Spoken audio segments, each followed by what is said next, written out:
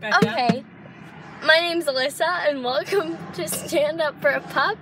This week, I'm talking about state testing and how spending quality time with your pet can benefit your grade. Now, as you know, studies have shown that stress decreases your grade. But did you know spending quality time with your cat, dog, chicken, or even goldfish can reduce stress and in turn boost your grade? Sorry, my sister's in the back seat. Say hi, Rebecca. Hi.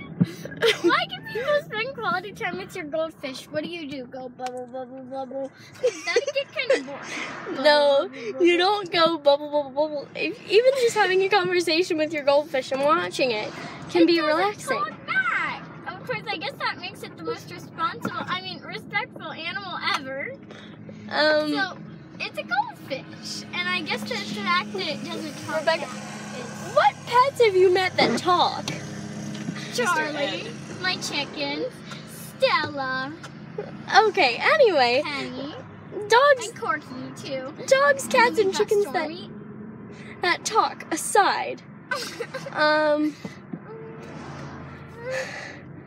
oh, there's also another type of. spending time with your pet during state testing week can help reduce stress. And as many studies have shown, that increases your grade. If you liked that and you want more videos like that, or just animals being cute or heartwarming rescue stories, please subscribe and leave this video a like.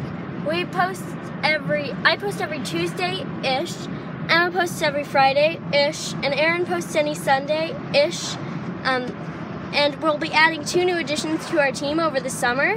Their names are Rebecca and Renee. Rebecca's the one sticking her tongue out behind me right there. And bye, have a great day.